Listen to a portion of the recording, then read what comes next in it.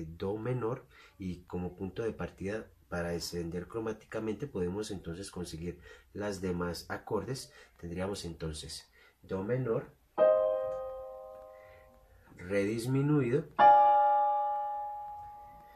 Mi bemol mayor, Fa menor, Sol menor, La bemol mayor, Si bemol mayor y por último entonces tendríamos una octava más arriba Do menor.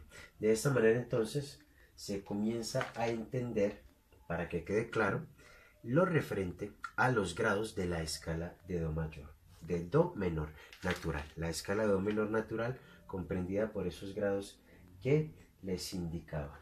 Ahora entonces, una forma ya muy completa de entender los grados de la escala de Do sostenido menor es empezar entonces Do sostenido menor de esta manera. Aquí podríamos entonces empezar Re sostenido.